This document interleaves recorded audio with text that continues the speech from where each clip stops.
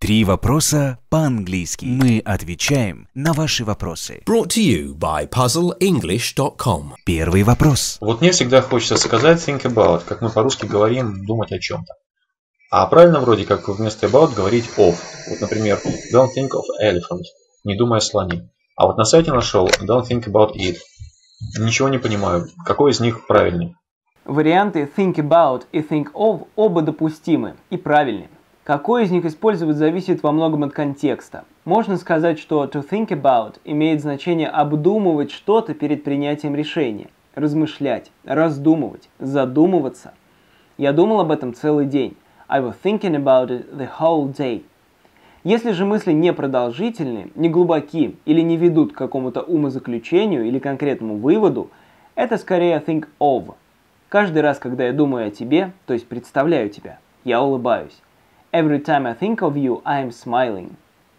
Кроме того, think of часто используется в вопросительных предложениях. Что ты думаешь о моих новых ботинках? What do you think of my new boots?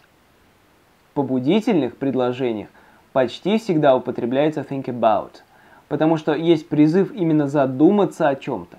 Подумай об этом, это отличная возможность. Think about it, it's a great opportunity.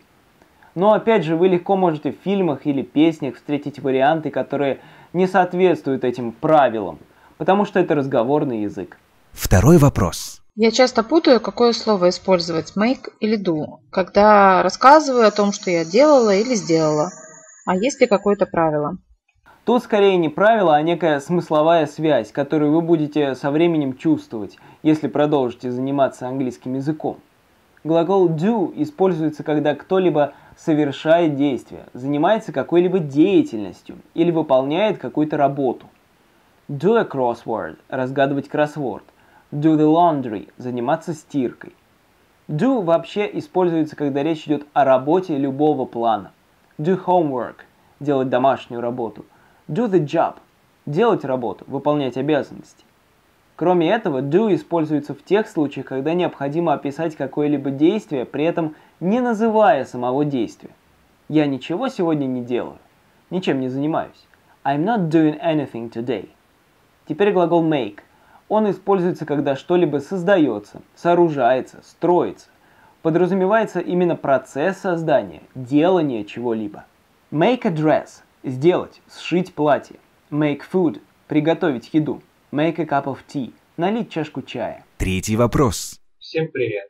Я заметил, что в фильмах иногда на предметы говорят не it, а he.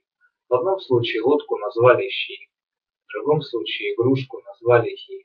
Интересно, по какой логике они это делают? Как они определяют пол? Ведь э, в английском у предметов нет рода.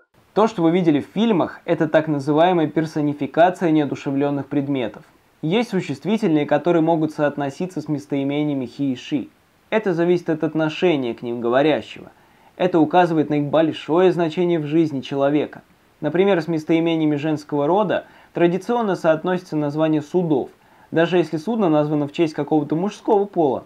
То же самое относится и к другим транспортным средствам. I have a boat, she is big. У меня есть лодка, она большая. I have a car, she is fast.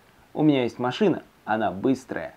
Что касается предметов обихода, как с игрушкой в вашем случае, они приобретают род либо исторически сложившийся, либо тот, который дает им говорящий.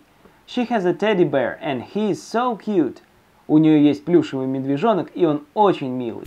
Присылайте свои видео-вопросы на наш e-mail.